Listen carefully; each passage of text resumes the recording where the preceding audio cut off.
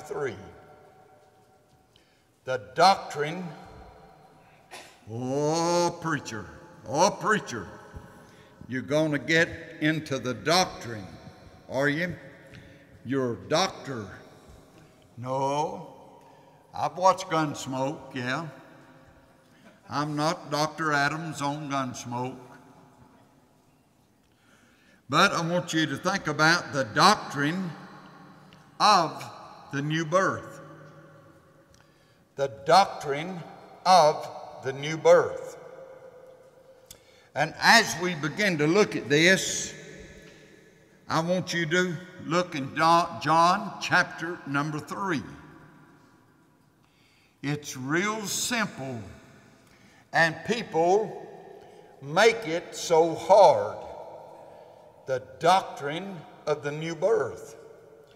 And when Christ comes back, he's going to take the church out. And when the church goes out, There's going to be a new bunch of preachers a coming. And you say, well, who are they? they're going to be 144,000 of them. They're going to be 12,000 out of the 12 tribes of Israel. And they're going to be 12 times 12 is 144. And 12,000 out of each one of them is 144,000.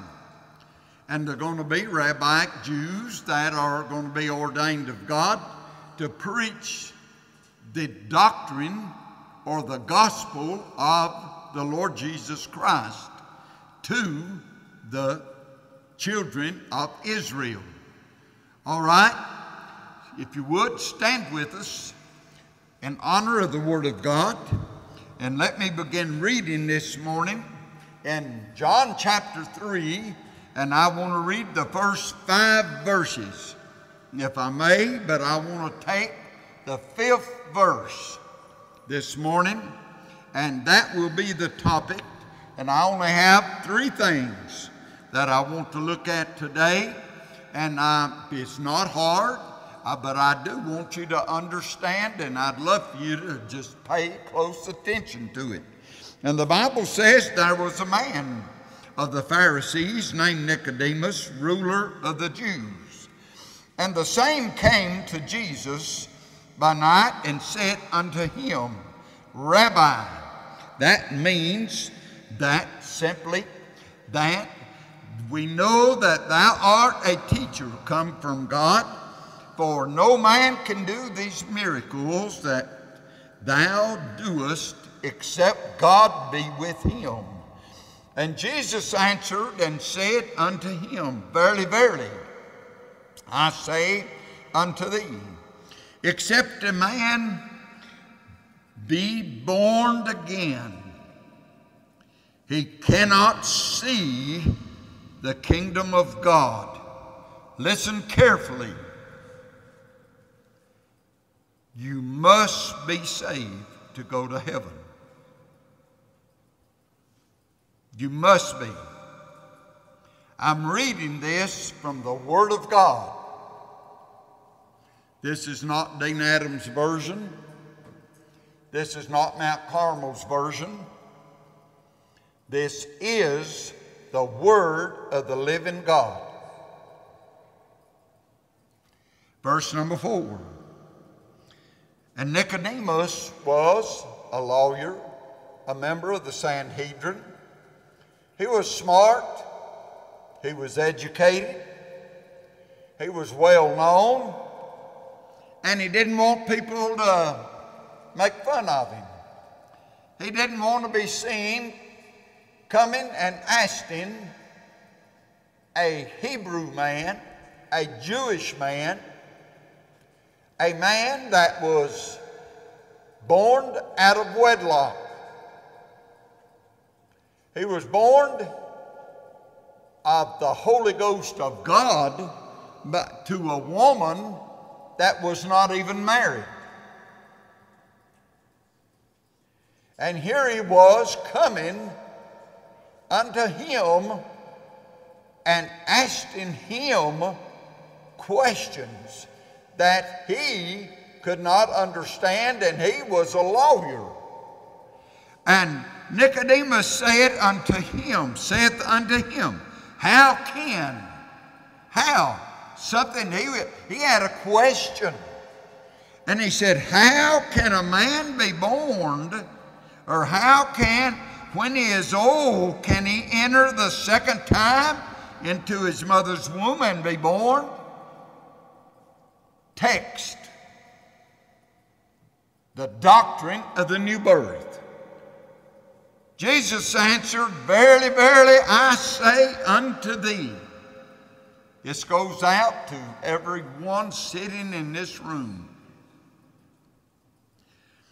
Except a man be born of water, that's washing of the Word of God,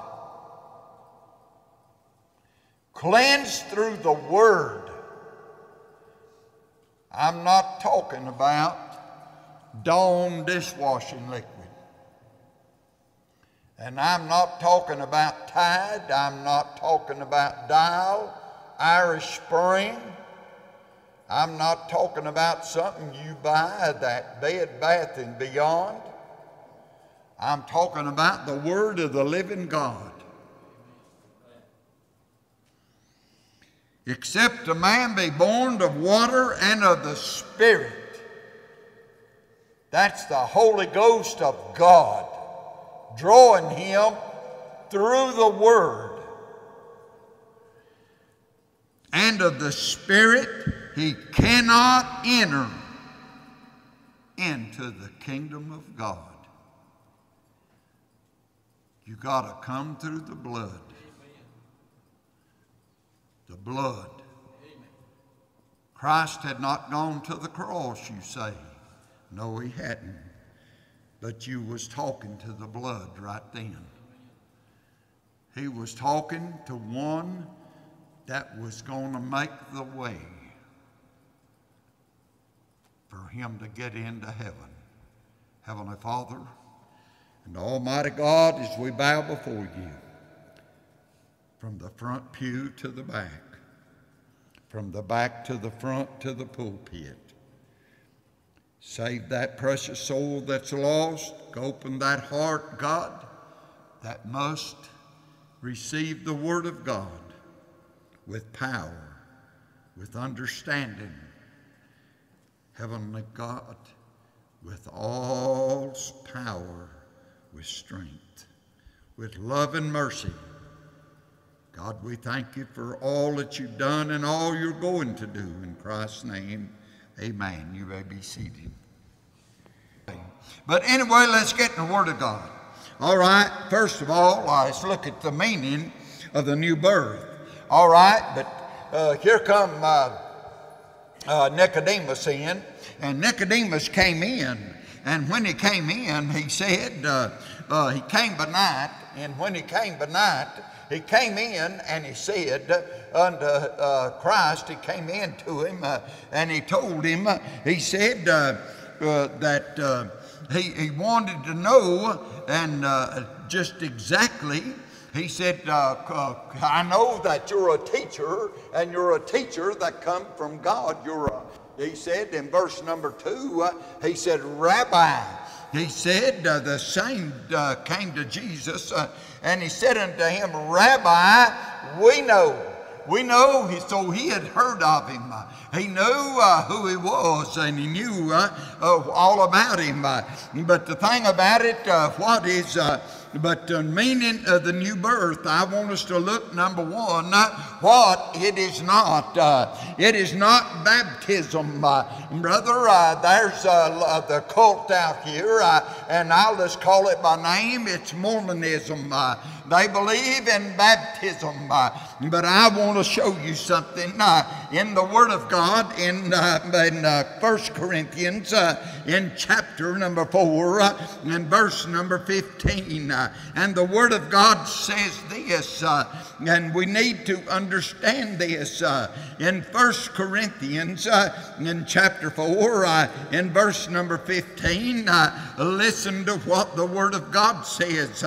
God is trying to tell us something, uh, and He does tell us something. Uh, and He says uh, uh this uh, He says, For though we have 10,000 instructors uh, in Christ, yet have ye not many fathers. For in Christ Jesus I have begotten you through the gospel. Uh, wherefore I beseech you, uh, be ye followers of me. For this cause uh, I have sent uh, unto you Timotheus, uh, who is my beloved son and faithful in the Lord, uh, who shall bring you into remembrance of my ways which be in Christ, as I teach everywhere in uh, every church. Uh, so, what he is saying, uh, brother, you're saved uh, through the taught and the preached word of God. Uh, he said you've got instructors. Uh, you have got everywhere you go, you've got 10,000 instructors in Christ. you've got everywhere you go, everywhere you turn, you've got somebody that'll tell you this, uh, or somebody will tell you that over yonder. Uh, but, brother, uh, you can only get to Christ through the preached Word of God. Uh, and also in 1 Corinthians, uh, in chapter number 1 uh, and verses 14, I want you to look. I thank God that I baptized none of you but Crispus and Gaius he said, now look down in verse number 17, uh, and he said, uh, For Christ sent me not to baptize, uh, but to preach the gospel, uh, not with wisdom of words, uh, lest the cross of Christ uh, should be made of none effect. Uh, all right, uh, brother, it's not the baptism, it's the blood of the Lord Jesus Christ. it's not reformation well, you, I'll be reformed. I'll turn over a new leaf. Uh, look what Christ said uh, in John chapter 3 uh, and verse number uh, look what he said. Jesus said, Verily I say unto ye, except a man be born again, he cannot see the kingdom of God. look down in verse number 6. He said, uh, For which uh, that which is born of flesh is flesh, uh, and that which is born of the Spirit uh, is spirit. Brother, uh, it's not changing your mind. Uh, it's not changing uh, the way you're living. Uh, well, uh, I'll tell you, I'll do this. Uh, I'll tell you what it is. brother, it's getting your mind straight and directed on God. what we need to do, brother, we need to get into the generation of God. we need to get our mind straight on Him. Uh, in Second Peter, uh, listen to what the Word of God is telling us. God is telling us something uh, in chapter 1 uh, and in verse number 4 uh, whereby are given unto us uh, exceeding great precious promises uh, that by these uh, you might be partakers of a divine nature having escaped the corruption that is in the world through lust. brother, I'll tell you right now, when your nature's changed, I'll tell you uh, you'll get your mind changed uh, when your nature's changed. Uh, and also uh, in First Peter, uh, just back up uh, and look in verse chapter number one and in verse number 23, being born again, not of corruptible seed, but of incorruptible by the word of God, which liveth and abideth forever. for all flesh is as grass, uh, and all glory of man as a flower of grass. Uh, grass uh, withereth uh, and the flower fadeth away, uh, but the word of the Lord endureth forever. Uh, and this is the word which by the gospel is preached unto you. Uh, brother, uh, it takes the preached word of God uh, to get you saved. Uh, brother, by the word of God uh, and by the blood of the Lamb of God, uh, that's what gets you saved. that's what gets you turned around. that's what gets your mind what word ought to be. though sin and through sin, man's spirit came into the condition uh, of spiritual death. Uh, brother, uh, that's what happened uh, when Adam, uh, brother, he uh, spiritually, he was alive and he was doing well. but brother, when sin entered, brother, he died spiritually. but the thing about it, in regeneration, man is quickened out of the spiritual separation. Uh, and uh, I'll tell you then, uh, his spiritual life and union and communion with God is restored. Brother, when you get saved, and I want to tell you this the resurrection uh, is the restoration of life uh, and of that which life uh, has, brother, been restored, then you are restored into eternal life through the blood of the Lamb of God. I'm talking about a spiritual translation in Colossians, brother, in the Word of God, in chapter 1 and in verse number 13. Listen to what the Word of God says. Brother, it's plain uh, and it's simple. Uh, brother, if we'll just let the Word of God speak to us uh, and, and brother, uh, talk to us, uh, then it says uh, in chapter 1, he said, Who hath delivered us from the power of darkness? and hath translated us uh, into the kingdom uh, of his dear Son. Uh, now, right now, uh, listen to this in whom uh, we have uh, a redemption through his blood even uh, the forgiveness of sins. Uh, aren't you glad uh, that the blood of the Lamb of God uh, will wash away all our sins? Uh, I'm glad, thank God, uh, that God don't leave a dirty spot, that God don't leave just a few sins or just a little bit of sin over here. Brother, like the Sunday school lesson sang, brother, when we uh, look down that river, when we look down there, brother, we don't see uh, nothing down there. We might see our boys down there, uh, but brother, we don't see no sin. We don't see no nothing, no dirty things down that river of life.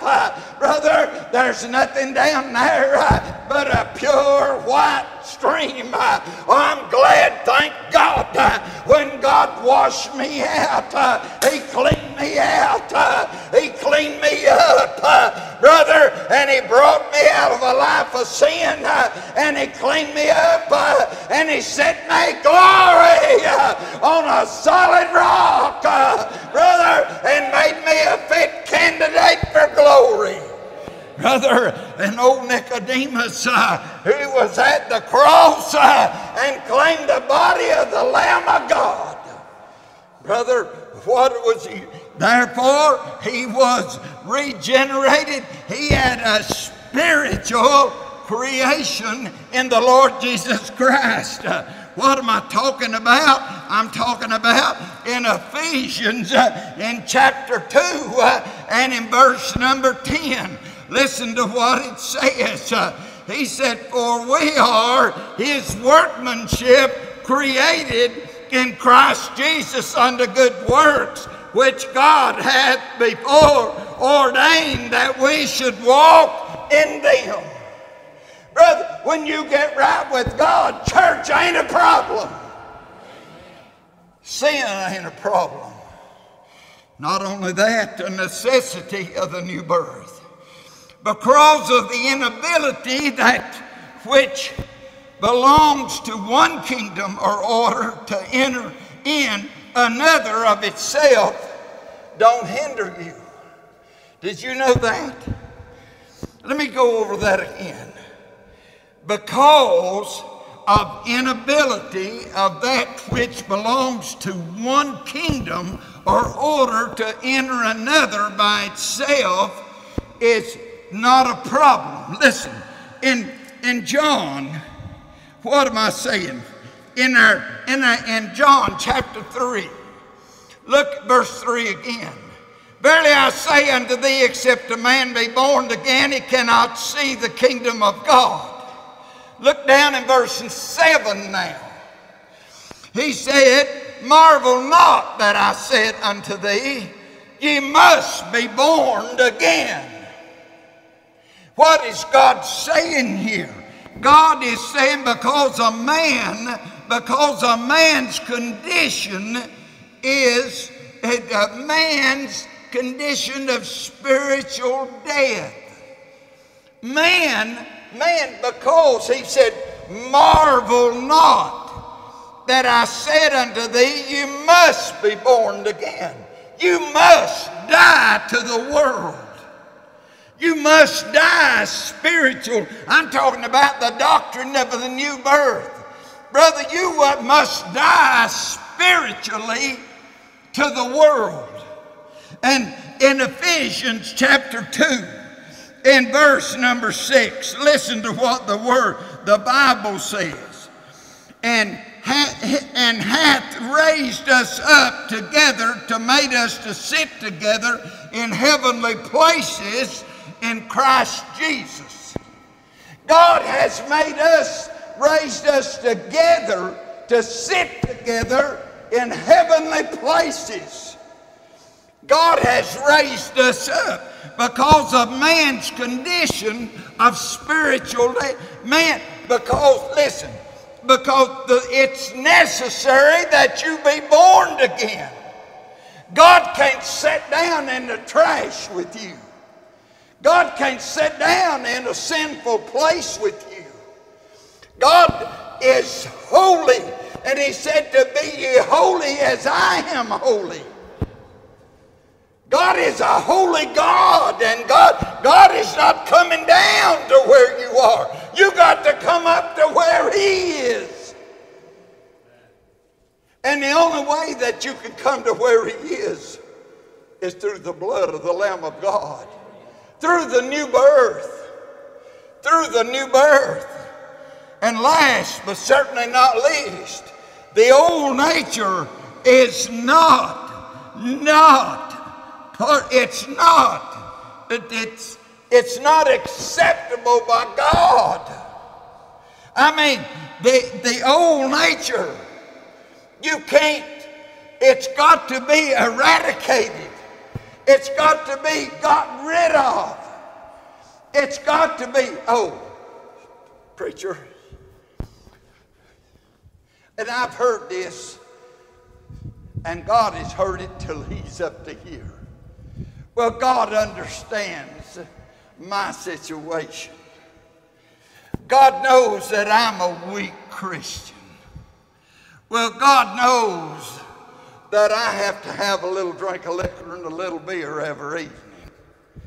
And God knows that, uh, uh, and me and my wife's got to understand, and I run around a little bit on her, and she runs around a little bit on me, and uh, well, that, that's the way we've got an understanding.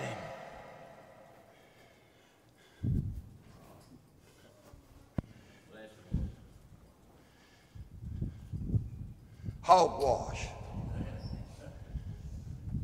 You're some kind of a fool.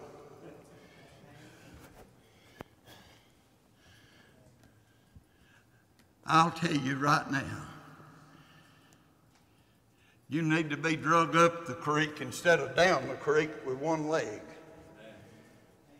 And after a while, you'll get tired of the rocks and you'll holler, stop. The thing about it is, even a Christian has two natures. Amen. You still got that old nature. Now, God, God, uh, listen, God did not take out that old Adamic nature. You've still got that old sinful nature. Dwayne, you've still got a temper. And if you think that Dwayne Jones ain't got a temper, come back here and kick him on the leg. What about Jerry Laws? Come back here and lay the foot to him. Smack one jaw, smack the other jaw, and see if he don't smack your jaw. Amen, Sammy?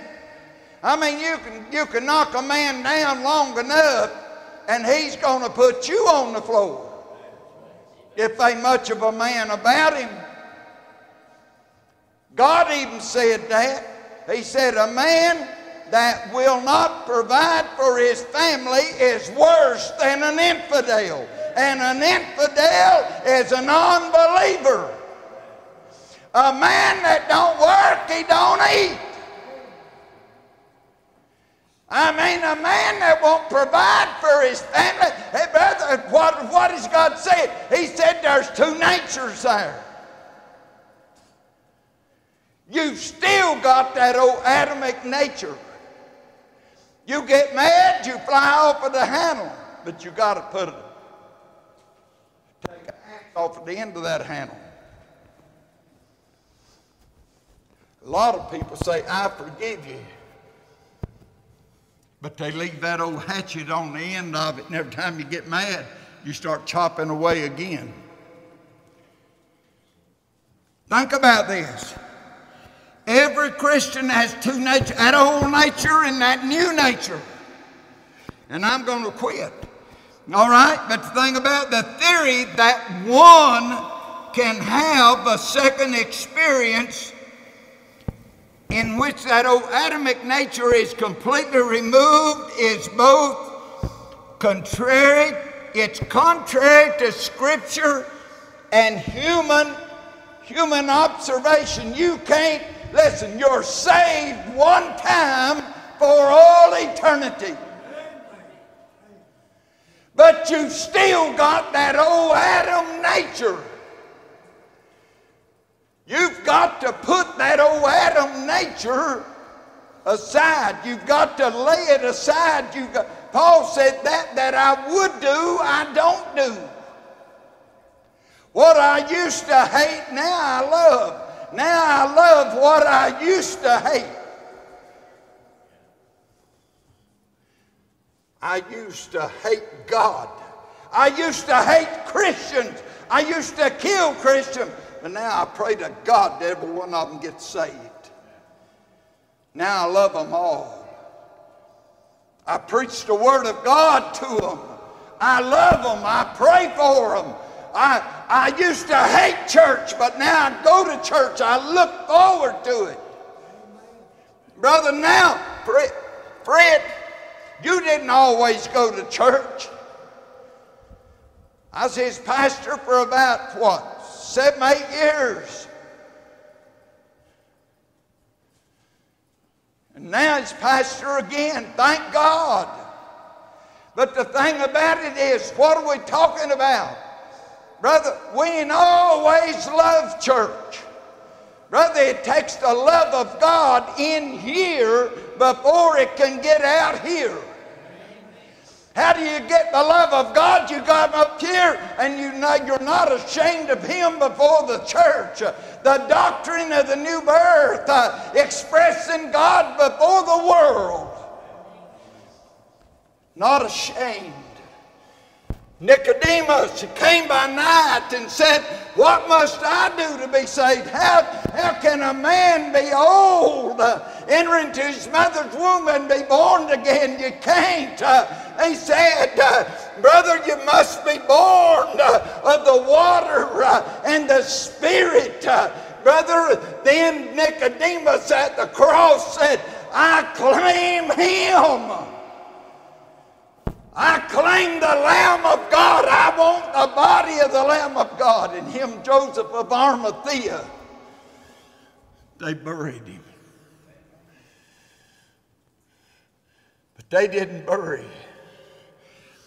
they laid a body. That in three days, glory, glory, glory. The devil the first day said, I got him. The second day, they said, I got him. Uh, the third day, thank God, hey, they said, uh, all hell is said, uh, I'm a t- something's happening. I'm losing him. Uh, he's coming out. He's coming out. Uh, oh, glory to God. The devil couldn't hold him. Woo! Glory! Hallelujah! He's alive this morning. Why? Because He is God Almighty. Brother, He's a King of Kings. He's the Lord of Lords. he is, uh, he is God Almighty forever. Brother, what I am talking about. Brother, listen. In First Corinthians, in chapter number 9 and verse number 27. Listen to what the Bible says, if I can find it. 1 Corinthians chapter 9, verse number 27. Listen to what the Bible says. The Bible says this. Chapter 9, verse 27. But I keep my body this is Paul, the murderer, the scoundrel, the heathen, the one that killed Christians, that met the Lamb of God on the Damascus Road. But I keep my body and bring it under unto subjection, lest that by any means, when I have preached to others, this is Dean Adams, too. I myself should be a castaway. See, God holds me accountable to what I preach to you. Can I read it again? But I keep my body, I keep under my body and bring it into subjection, lest by any means, when I have preached to others, I myself should be a castaway. Uh huh. See, I've got to live what I preach to you. A preacher stand up here and preach a lie. Buddy, I'll tell you right now, God could smack him like swatting a dog or a fly. Oh, buddy, you better be careful how you. Yes, I'm a Christian. You know what that means? Christ like. How many Christians we got in here? That's live like Christ this week. How many Christians? That's lived just like Christ. Oh, dear God. Paul said that he had a struggle with the flesh.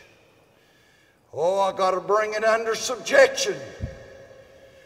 But I mean, I, I have a problem.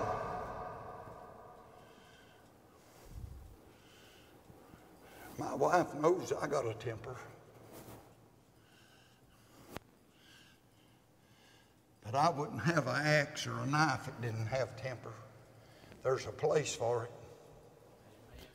There's a place for it. But you hurt one of my family, you'll find out I, who's got a temper. The reason why so many church members have no spiritual appetite, and I'm done if they'll get a song. They endure only for a short time. Listen carefully to me. Listen carefully, carefully, carefully. Listen, listen to me, please. Please give me your attention. I'm, read, I'm reading one sentence. The reason why so many church members, I said church members, not Christians, church members, And I'm going to put Christians in there. I should have put, should have put Christians in there too. Have no spiritual appetite. They endure only for a short time and then drop out and are worldly in uh, impulse. And desire is the lack of a new birth.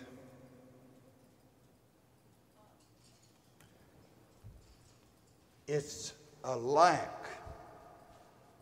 The church member is a, has a lack, has a need of new birth.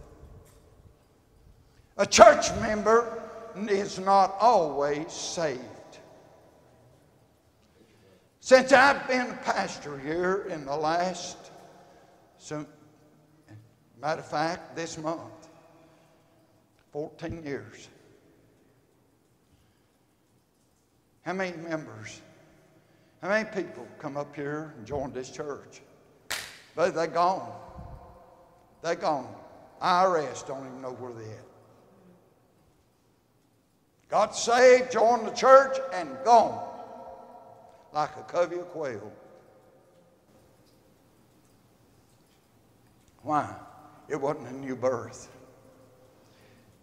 It was just a new experience. Just come up here and said, Yeah, we joined the church. We want to join your church. Our family wants to be buried here and all of this. But the thing about it is, if they don't show up in two years, their name's gone. They didn't check into that.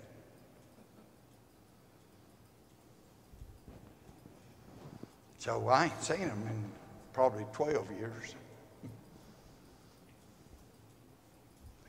But the thing about it is this it wasn't the new birth, it was just an experience.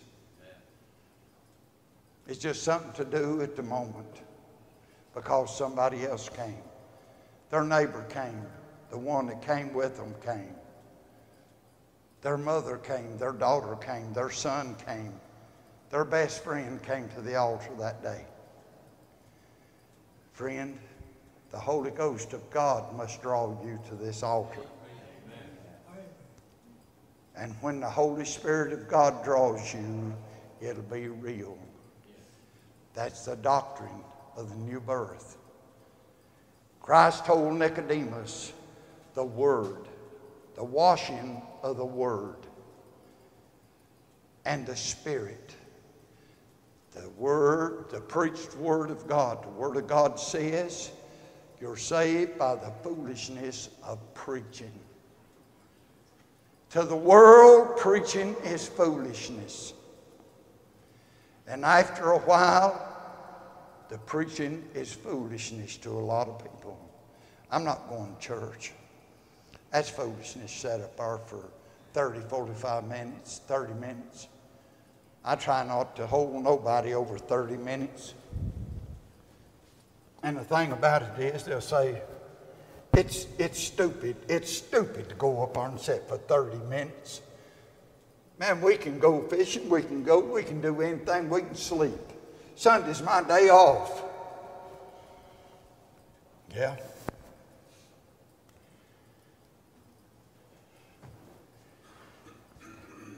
That boy killed Samuel Bullard. Sam. He dated my son in law's niece.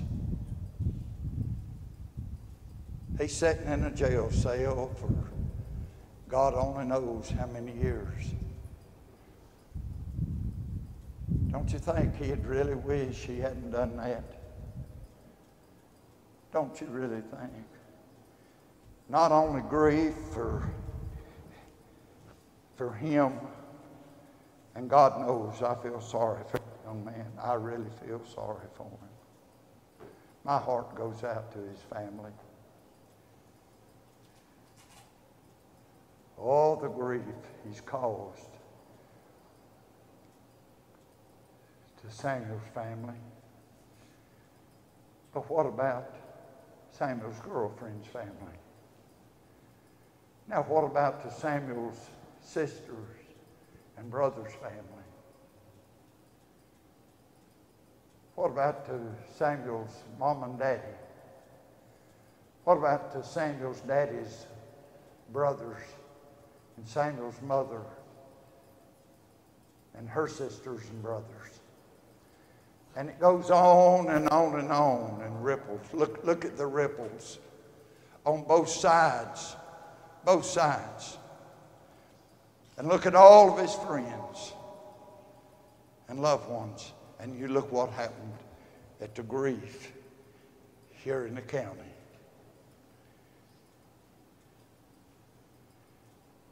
But not only him. Look at all the people coming into our county selling drugs and making drugs. They're looking at the dollar signs. Now they're wanting to legalize marijuana.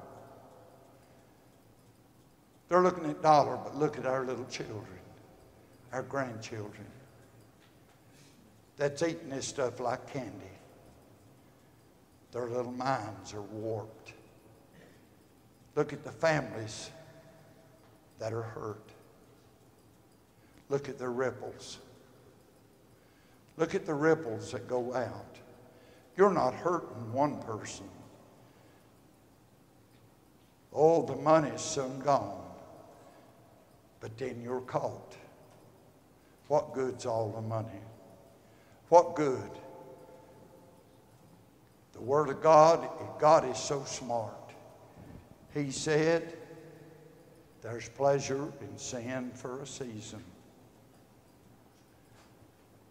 But see, eternity, oh, in eternity, there is pleasure forever and ever and ever and ever. Let's stand, Heavenly Father. And Almighty God, touch hearts today. Oh, the doctrine of the new birth. What a blessing. What a blessing, Lord. What a blessing. Oh, the blood of Jesus. What a blessing. What a blessing, Lord, you have given us. Lord, help us live under your blessings. Oh, God, if there's one or more here today, Lord, that needs that blessing, Lord, that needs that strength, Lord, that needs that love, that needs that push. Lord, today, let them come in Jesus' name. Amen.